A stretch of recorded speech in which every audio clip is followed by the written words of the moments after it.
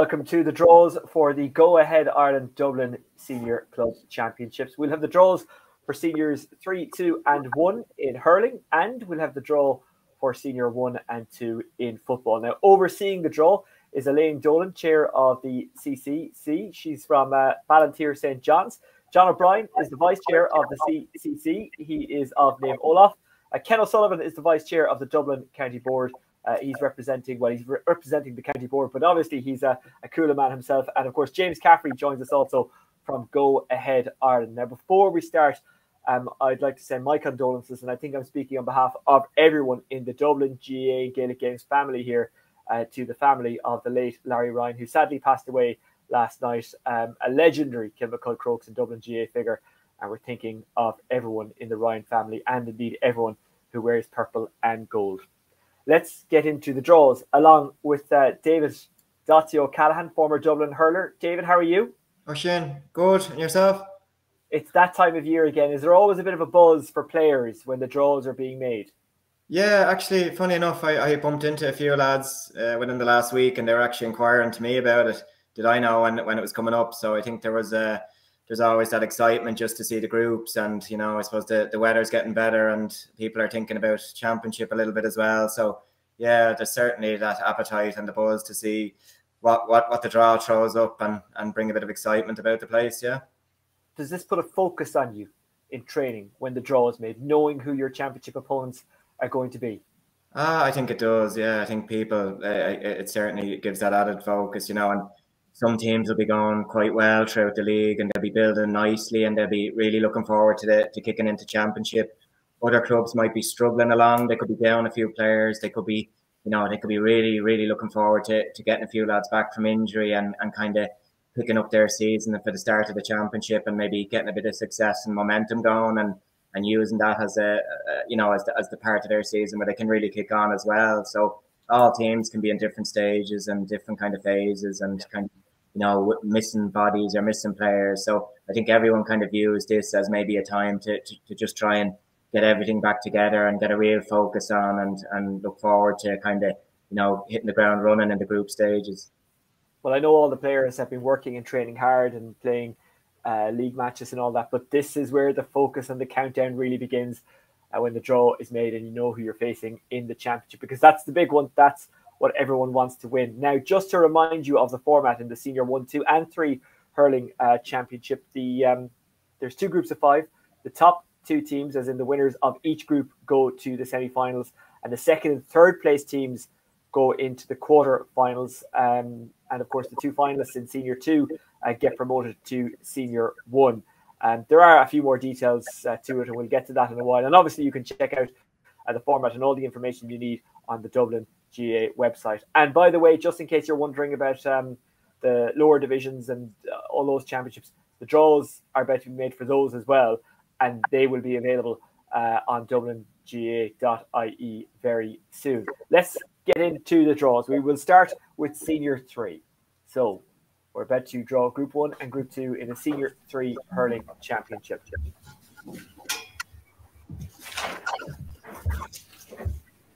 The bottom teams, by the way, fourth and fifth in each group, will go into uh, a relegation playoff with the loser going down. So every game matters in these groups um, David, and that that that that's important. Scoil Uí Chonaill. Scully Connell drawn out. We'll get back to that point in just a moment, but because there is something at stake for everyone going into the last round, that means that every game matters.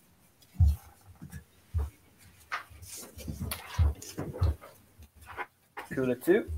They've had strong O'Toole's in the last couple of years, Cuala, but they're uh, first and second if you want to put it like that. But uh, many of those second team players would fancy a run in the first. They're not far off it either. So a lot to prove for those players. O'Toole's great traditional club. Naomh Olaf, great facilities, great club building. Raheny. Well, they've always been a great club, but uh, building in a hurling sense now in senior three.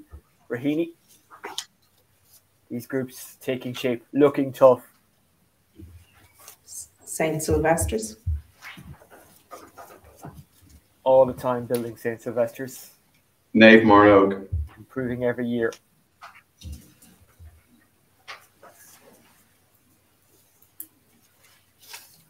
Erin's Isle. Erin's Isle.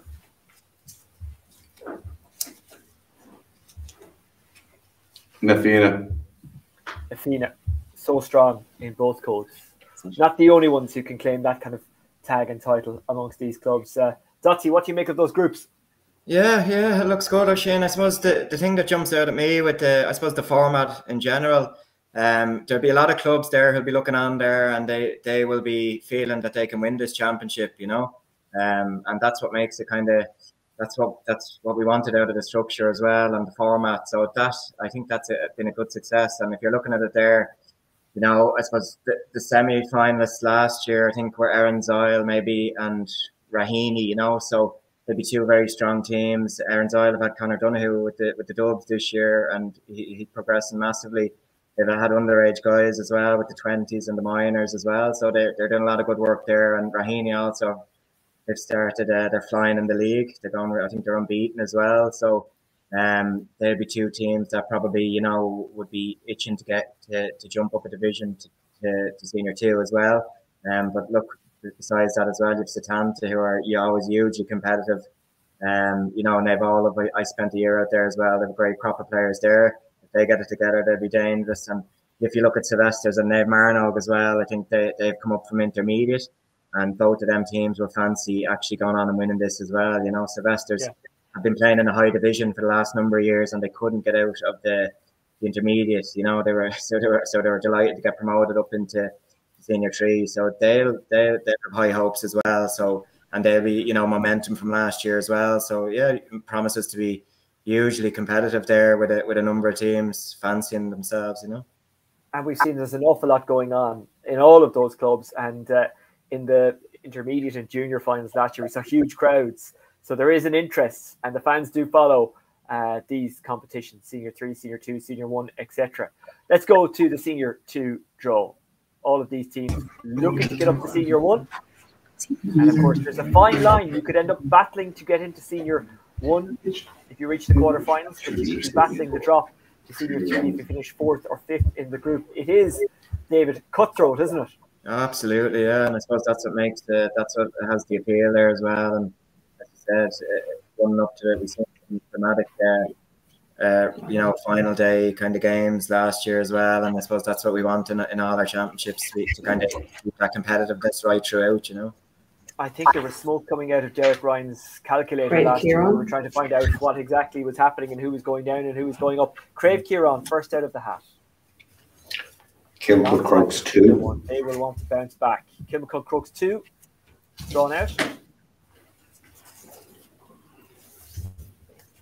Yet again, Dottie, I failed to make either senior panel and Crokes.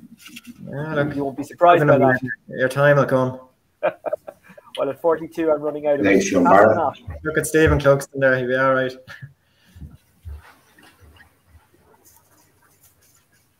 So sad to see Trollier have to retire recently with that injury. Ballinteer St. John's. Absolutely. Speaking of St. Finbarr's, Ballinteer St. John's uh, we're going to hear from a very famous former Ballinteer St. John's player in a while, the football draw. St. Jude's. St. Jude's. They came so close to winning Senior 1 in recent years, now battling to get out of Senior 2. That's how tight it is. That's how competitive it is. Tom Tarf. Tom Davis. Thomas Davis.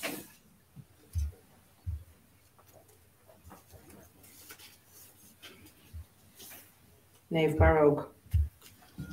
Naomh Barróg. Last but not least, Ballyboden St. Enda's. Ballyboden St. Enda's.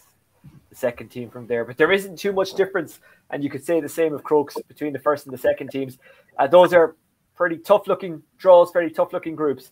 Ah, yeah, absolutely, Oisin, and similar to the, the last championship there as well. It's it, there's a, a lot of teams in there will fancy them chance or fancy their chances of kind of going on and winning this as well, you know. And I suppose the, the, the, prize is massive there to get up to you know to up to the senior one championship and the prestige that comes with that as well for a club. So look, you'll obviously have Craobh Chiaráin and St Jude's will be massive dis- massively disappointed after getting relegated last year. So they'll be very keen to bounce back up straight away. So Jude's haven't been going too well in the league so far, but then again they'll be one of them teams who are trying to to kickstart their their year kind of with, with the championship. You know, so you're looking at the other clubs there as well. Naomh Barróg obviously a very good year, winning last year, and a great victory over Oulart Ballagh in Leinster as well. Maybe unfortunately didn't go on and win Leinster, but you know building a, a squad there with with good lads on the Dublin squad now as well, and underage players as well. And Clontarf obviously have done massive work as well. So I think they were beaten at the, themselves and Ballinteer were you know very close to getting promoted. They were beaten in the semi-finals last year.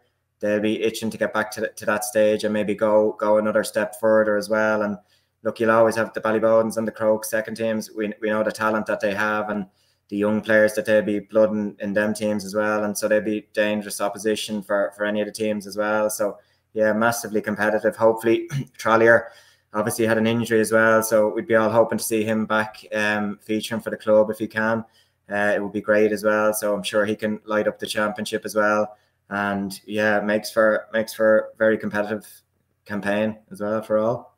So the senior two and senior three draws have been made for the Go Ahead Ireland Dublin uh, Club Hurling Championship. Let's get to the senior one draw. This promises to be another great season. Kilmacud Crokes, of course, the defending champions, but they were pushed all the way by Na Fianna in a very exciting final. So let's have a look at who will play who and who will be in what group.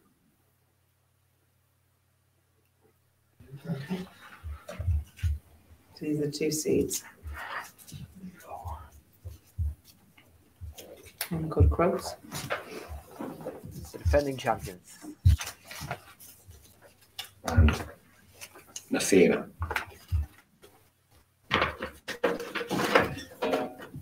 Well, as the two seeds, they avoid each other in the group stages, but you wouldn't um, back against them meeting at some stage. What a game that could be. Kilmacud Crokes, of course, uh, reaching the provincial final last year. Lucan Sarsfields. Lucan Sarsfield always a threat. They have such great players. And St. Vincent's. St. Vincent's, one of the great powerhouses of Dublin hurling. St. Brigid's. Vincent's and Na Fianna, we're getting that as a, a local derby in the uh, and St. Enda's. second group. Ballyboden St. Enda's.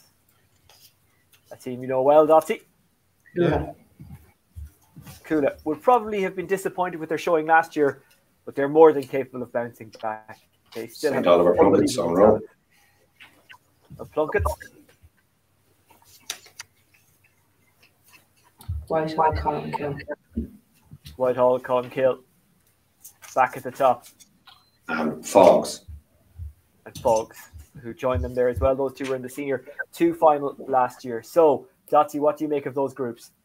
Yeah, yeah, looks uh, interesting, Oisin. So I suppose, uh, yeah, I suppose. Look, obviously, Kilmacud and Na Fianna, um, the last couple of years, we've they've been, you know, well picked out as being the two strongest teams in the club championship, and they've backed it up, getting to the, the finals as well. So look, Kilmacud have come out on top, um, so they'll they'll want to they'll they'll want to be top in their group, and uh, it's going to be challenging enough as well. You'll, you'll have Lucan Sarsfields there, I think, under under Charlie Carter this year as well. Um, there'll be there'll be a bounce in them, I'm sure. And then you've got Brigid's, Cuala, Whitehall, as you said, Cuala will want to bounce back from from last year's semi final defeat as well. So Whitehall, Column Kills, straight up from Divi- Division Two as well with Faughs. The, the two of them will really want to to keep their momentum going and, and, and rip into this championship as well. And I'm sure they'll, they'll want to be avoiding any sort of relegation uh, threats or playoffs or anything like that as well. So yeah, look, ultra competitive there as well. And I suppose you're, you're just kind of you just want to see as well maybe the you know when the championship starts who's around who's available and you know if you look at Kilmacud they've been down a few kind of few you've seen Dara Butler heading off last year after the Leinster final Lucian O'Rourke has been away as well so I think he's due to be back for the championship so uh, David Crow has had a, a nasty injury as well so hopefully he might be a bit off it as well but hopefully he's returning so look it'll be it'll just interesting to see what what what players are available for for all the all the top teams as well. Um, obviously got Vincent's are going very well in Division One. Uh, Pat Gilroy and Mickey Whelan involved there as well, so something strong building there potentially. And they bring that on into the, their championship campaign as well. So very interesting. Look, Ballyboden are always going to be there. They're they're getting younger players into the squad and they're mixing them with the experience that they have. Very disappointed with their semi final defeat the Crokes last year. They'd be they'd be mad to get back to that stage and, and right the wrong there. It was a very poor performance. So they they'll be there. The Plunkets again have have um you know they had a massive victory against Craobh Chiaráin to stay in this championship last year. They've got great players. Ushin with the the underage Dublin squads as well coming up, and Ian Boland is in flying form as well. So they'll be hoping to maybe to do a bit better and build on last year as well. Um, so that they won't be easy for anyone. Similar to Faughs as well, up from the senior two as well. They'll be really hoping to kick on and, and make an impact in these championships as well, in this championship. So uh, look, promises to be promises to be really really competitive. Yeah. Yep, should be very very good. Just before I let you go, Dublin in action against uh, Kilkenny on Saturday night. No doubt you'll be watching that or heading down to it. Yeah. And they are capable of putting in a good show here, at Dublin, aren't they? They won't fear going down to Kilkenny. They won't. But look, the reality of it is, I suppose Kilkenny have kind of burst Dublin's bubble the last few years in league and championship, so they've kind of deflated their season in a lot of it. So they're really due. You know, that one of these days they're going to have to really, really put it in, put it up to them and, and take it a step further. So you'd be hoping. Uh, Saturday's the day that they really bring a big, big performance. They should be confident, should be up after beating Wexford. So this is the day to maybe, you know, these are the this and Kilkenny in the following two weeks are are the big games to really see where, where Dublin are at. So hopefully a massive, massive uh, performance in them. Okay. David Dottie O'Callaghan, thank you very much for joining us for the Go Ahead Ireland Dublin Senior Club Championship draws. We made the draws for senior one, two, and three here. Outside of that, uh, the draws will be made a little bit later, and you'll be able to check out uh, who got who uh, through the Dublin GAA social media channels, or of course at the website dublingaa.ie. So let's move on to the football championship, and we've got the draws for senior one and senior two here.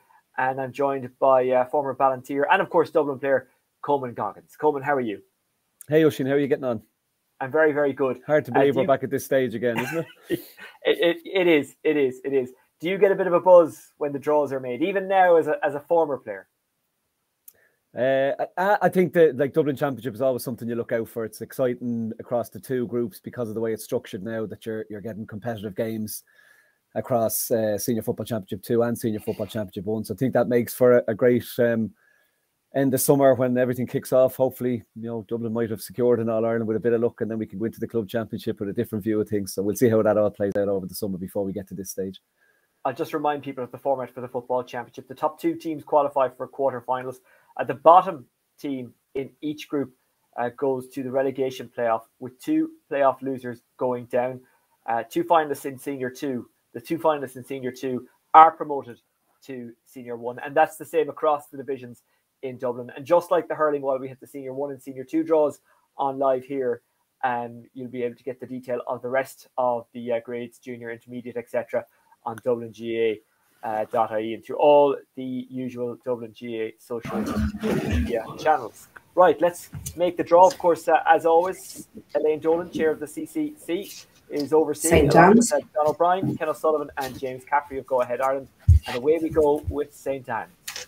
This is for St. Mary's Senior Football Championship 2. St. Mary's. Nave Naomh Mearnóg. Arnold. Fingal Ravens. Fingal Ravens.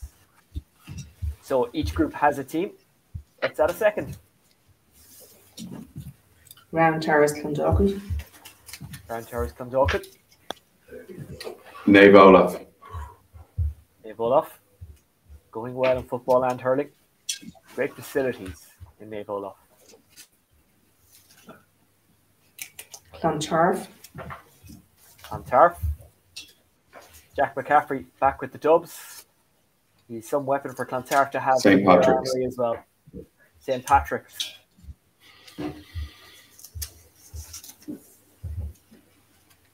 St. Maur's. Familiar to Coman now. St. Maur's. They'll go into Group One. Oliver Plunkett's. Plunkets into Group 2.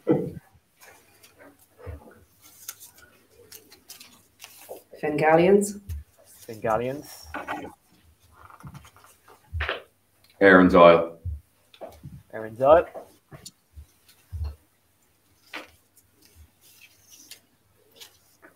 Naomh Barróg. They have Barrow. So that's Group 1 completed.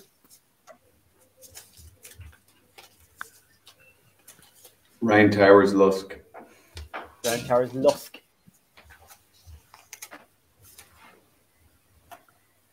Ballybough.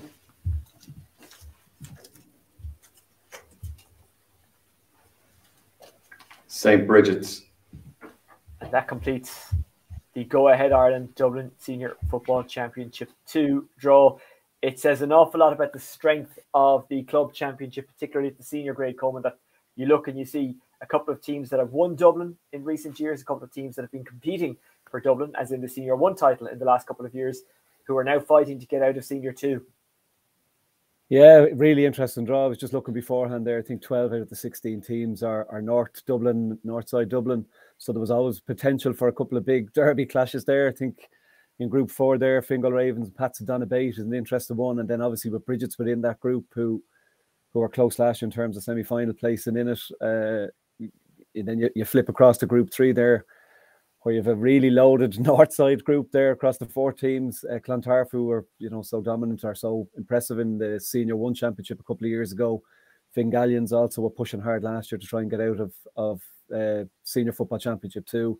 And Marnoaks who just have a great track record in, in you know Dublin club football, I suppose. And then into the, the other the top end of the draw, I suppose you want to call it that.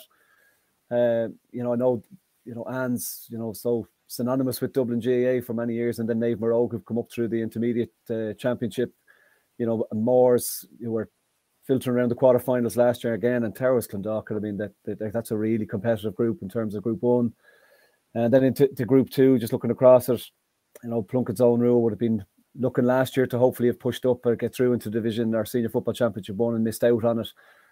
But then there's no easy game there. You look at Olives Marys and, and a young group in terms of Round Towers Lusk, who did so well in Senior Football Championship One, have dropped into two. So there's there's lots going on across all of those groups. So um, you know, there's there's maybe no dreaded group of death there, but there's certainly no easy group that any team will look at and see that they've a, a handy route to a quarter final, really competitive. And I think that's the real draw of the championship, the fact that it's broken into to 16 senior football championship one, 16 senior football championship two. You really get competitive groups and a lot of teams there, as you rightly said, looking to push back into Senior Football Championship 1, but it makes for an uber competitive uh, Senior Football Championship 2 to look forward to later in the year. Well, we saw St. Vincent's getting out last year, and uh, it was a job of work to get out, but they're back in the top grade. Let's find out who they will draw in their go ahead Ireland Dublin Senior Football Championship 1 uh, group. Them and many others. This is always interesting.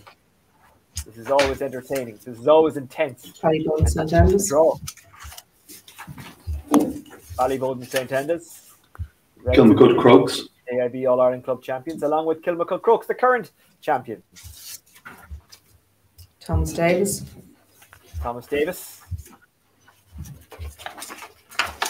Finalist in recent years. Ian Murphy saying Na Fianna.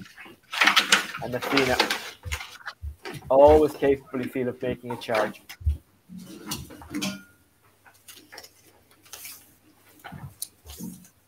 Ballymun Kickhams. Ballymun Kickhams. I was about to say they'll have been disappointed with last year, but given the talent Saint they have, last Sylvester's. they won't win. They'll probably consider a bad year. St. Sylvester's back at the top, having got to the uh, Senior 2 final last year. Of course, the two finalists in Senior 2. Lucan reached Sarsfield. Senior 1. Lucan Sarsfield St. Jude's. St. Jude's. So, just like the herders have come so close in recent years, but just fallen a Temple little bit short. Sing That Street. isn't to say they won't do it eventually. Templeogue Synge Street. Skerries Harps. Skerries Harps.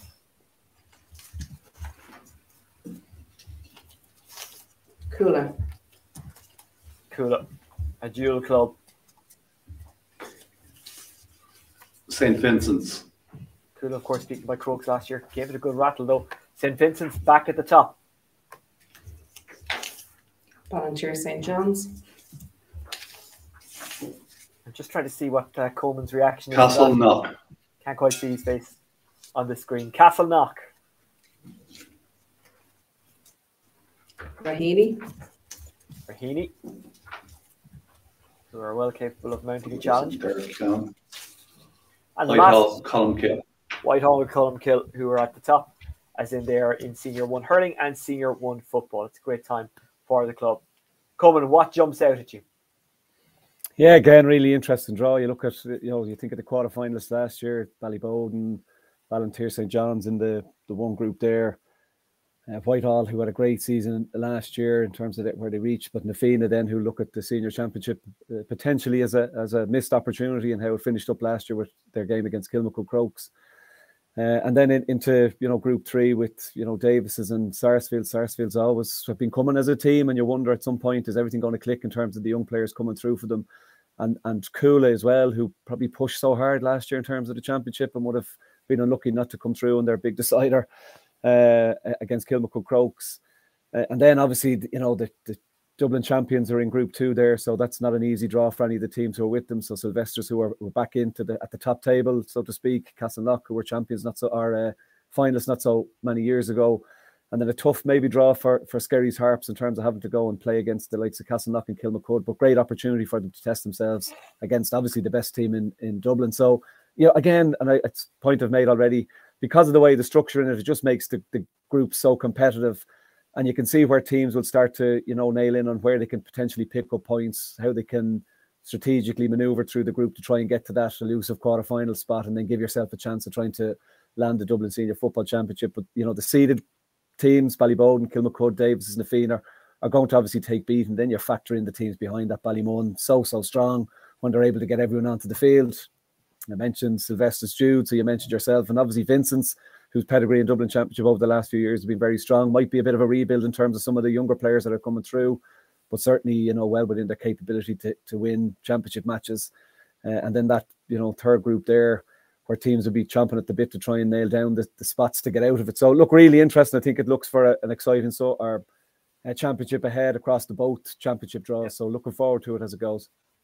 Okay, just before I let you go, Coman, Dublin in All Ireland series action over the next couple of weeks. It's um, something that we're not used to because, of course, this is the first year of it. Is it something you're looking forward to?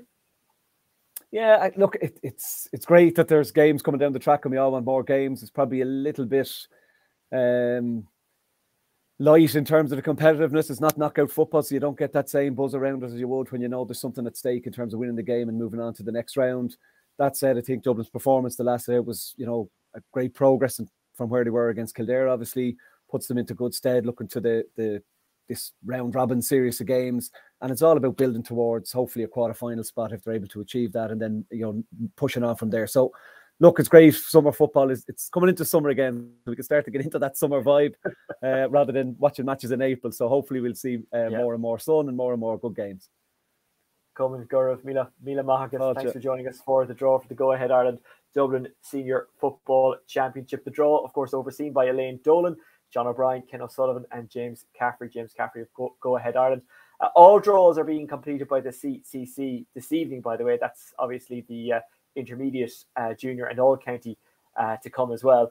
And they'll be posted on dublingaa.ie this evening as well as on the Dublin GAA social media channel. So if you're wondering who your, your team got in the intermediate, junior, county leagues, etc., you will be able to find out very, very soon. We're looking forward to the Go Ahead Dublin Senior Championships, as well as the intermediate, as well as the junior, as well as everything else.